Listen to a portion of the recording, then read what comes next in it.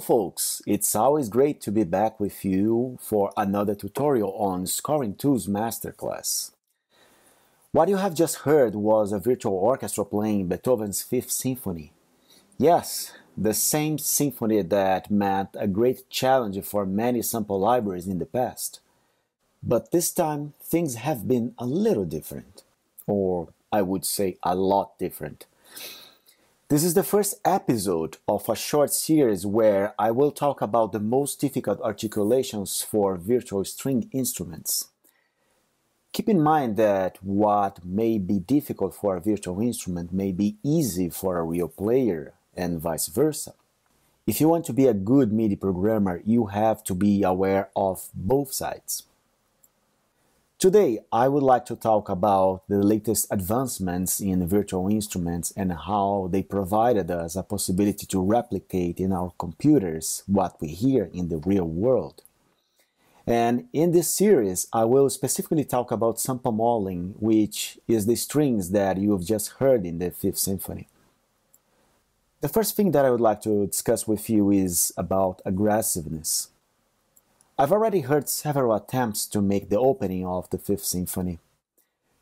Most sample libraries today have in their pool a good variety of short notes from spiccato to détaché, uh, spiccato being the shortest one and détaché being the longest one in the realm of short articulations. At first, when we want to simulate the opening of the theme, we think of those short notes in fortissimo.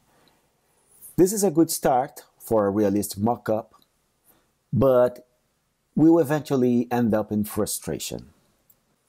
Sample libraries have recorded articulations, and even though there were some good attempts to record emotions, most of the articulations were recorded to be used on the greatest variety of phrases. So we can call them generic articulations. In the opening of the Fifth Symphony, there is a very specific kind of bowing. A good string ensemble will bow their instruments in a very aggressive way, which is not spiccato, neither staccato. This is more like a string détaché with at least two lengths. The three first are short ones, and the following E flat is the longer one. And then there's another repetition, three short ones, and then a long one. Therefore, working with pre-recorded samples, you would need two articulations for these first notes. So far so good, but samples have those generic articulations that even though they work for most occasions, they will struggle for very specific bowing like the opening of the Fifth Symphony. Just try this out yourself and you realize how difficult it will be to achieve a specific bowing with the same energy as this piece. You would probably need more than two articulations actually. Some of them for the attack of the notes to get the right attack, and some others for the body of the note to get the right character for the body. Probably you would also need to stretch and squeeze samples. Well, this is very laborious. Now, I'd like to show you each section of sample modeling strings playing the beginning of the Fifth Symphony. Let's first start with violins 1. I will put it in solo and let's hear only violins 1.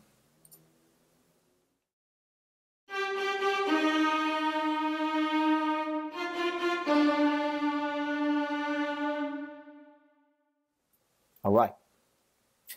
First of all, red and orange means very high velocity high velocity, which means a very sharp attack, which means aggressiveness.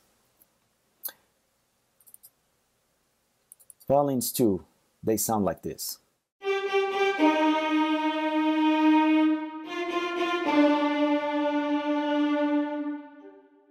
All right. violas, one octave lower. Let's show them right here.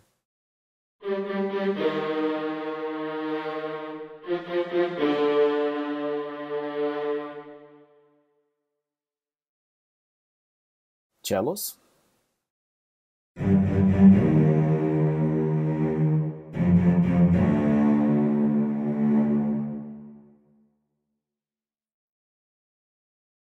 and basses.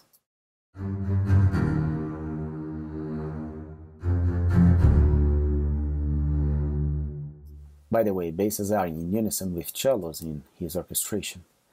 Now,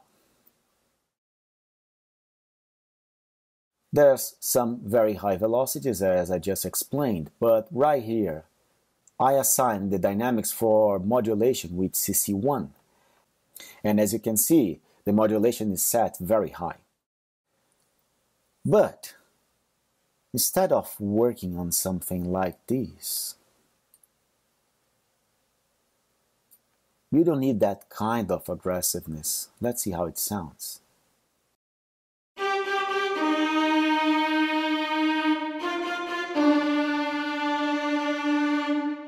Very computer-like or robotic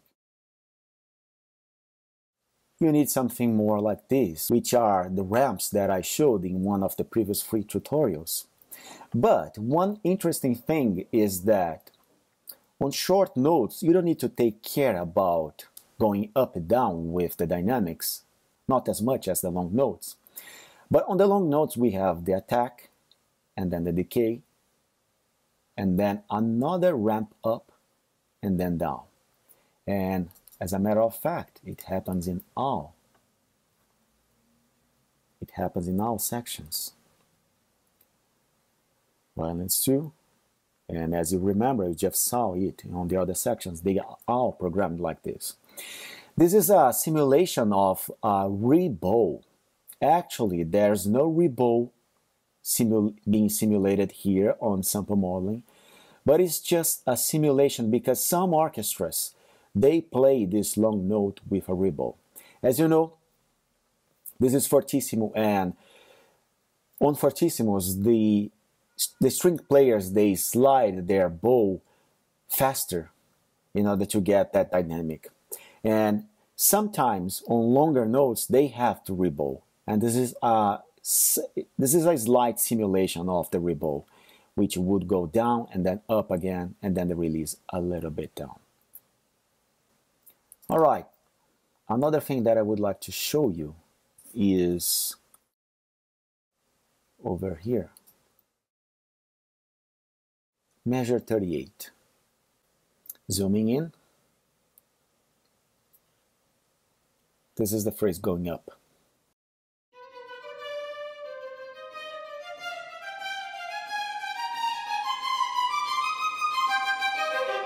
All right. This phrase is mostly composed by short notes, which you can put staccato or spiccato, what sounds best for you. Three short notes and one legato note.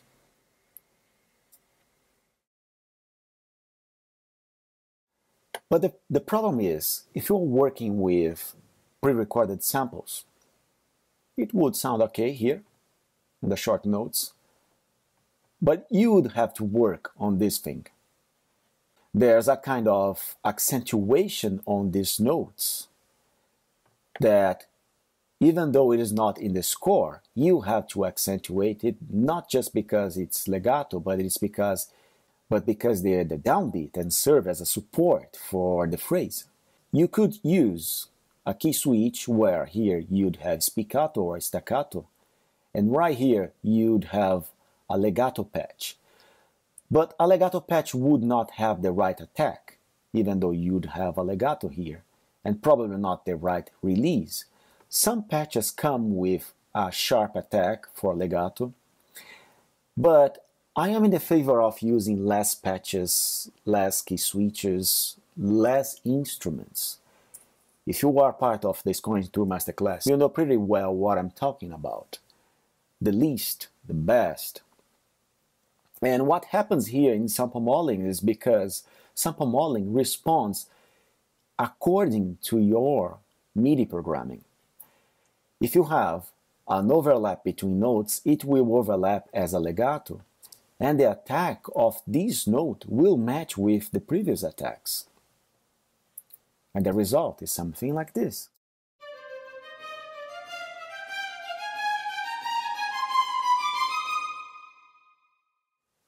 There's a constant crescendo here that goes from 50 to 127.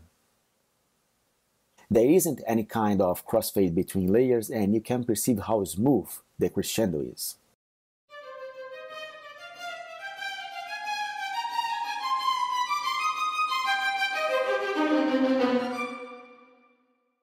Now, on measure 70,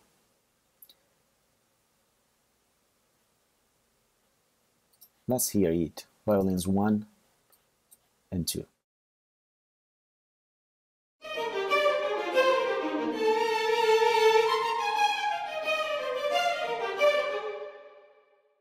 Alright, here I have programmed all the accentuations. And here is violins 1 and 2. They play on octaves, and right here they play in unison back again. But what I would like to call your attention is to these ramp up, which means a small crescendo in this phrase that is not notated in the score, and is not even supposed to be notated because it's not a change in the dynamic, but actually it's just a interpretation. This is my interpretation that, that actually I've heard on many real orchestras. So pay attention how it goes up.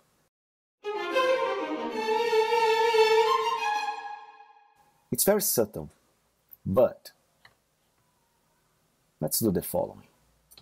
If we keep everything at 127, let's see how it sounds.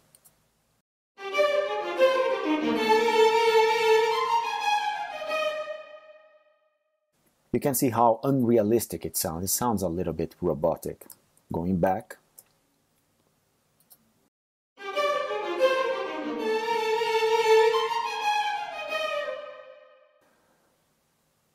So this is a new possibility that you can have with sample modeling strings because now you have your own interpretation.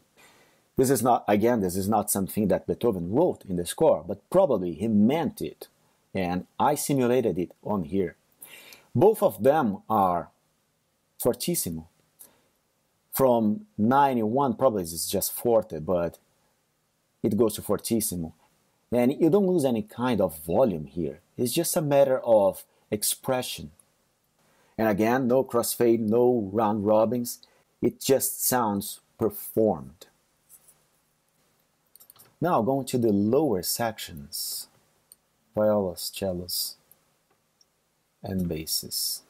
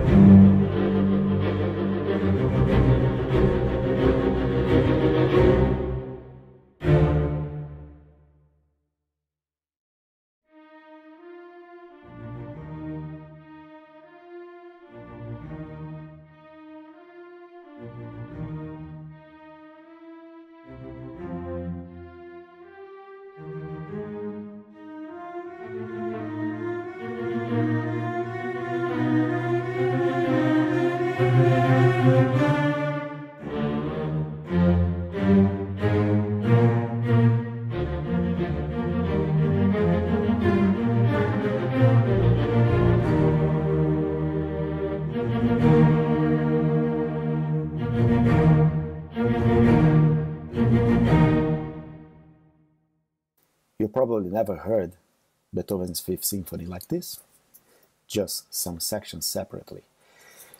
All right, going to the viola. Here the violas are playing with violins 2, while violins 1 is playing the smooth second idea of the symphony. And this is actually the only key switch that I have used. This is B flat, which triggers the high position. I, I decided to use high position here because I want a smoother sound. As you know, the higher you play, the more intense it becomes the sound and less bright. And I wanted to call less attention to these to these pads composed by two notes, one for violins two and another one for viola. Here is viola and the higher one is violins two. They were just accompaniment and they were not supposed to show off. So I decided to put high position for them.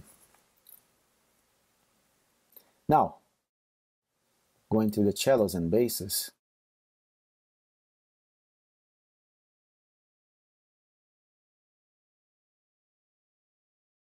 Let's hear what happens in 29.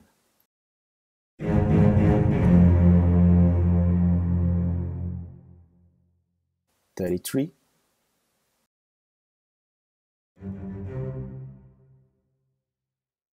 And fifty-two.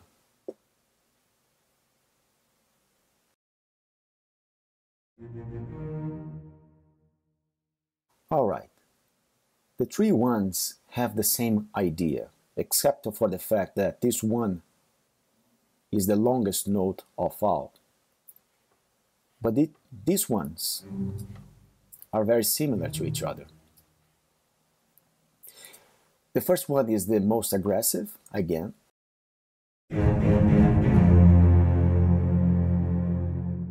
The second one is less aggressive. and the third is the smooth one.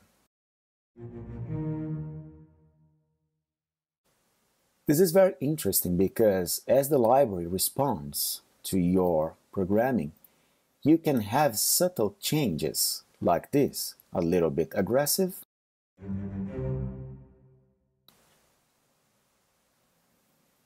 and smooth.